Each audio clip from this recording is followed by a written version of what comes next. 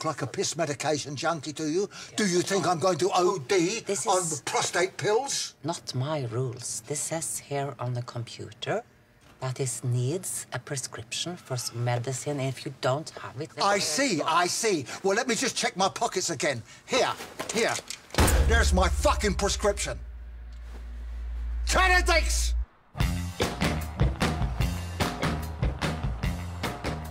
Scanned and all of them. Pissed off with a lot of them. Mugs, mugs. Whole place is full of... Don't fucking ask.